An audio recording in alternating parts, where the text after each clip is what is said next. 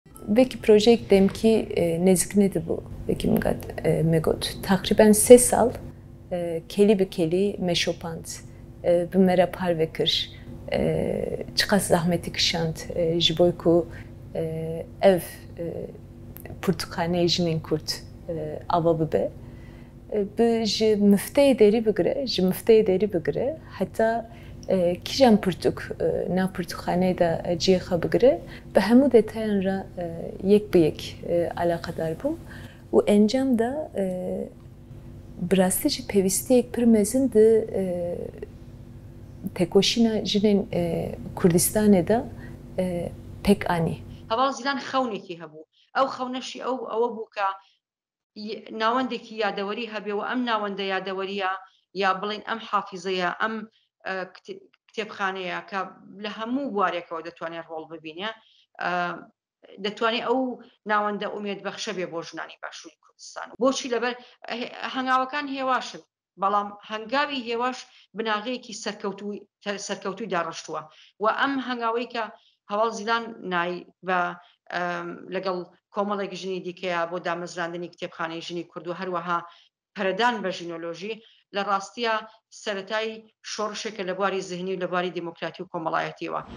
مەرحەبا باش ئەوجی ناوەندە مێ ناوەندە لێکۆلین و ئارشیڤ و قورتوبخانەی ژنی کوردە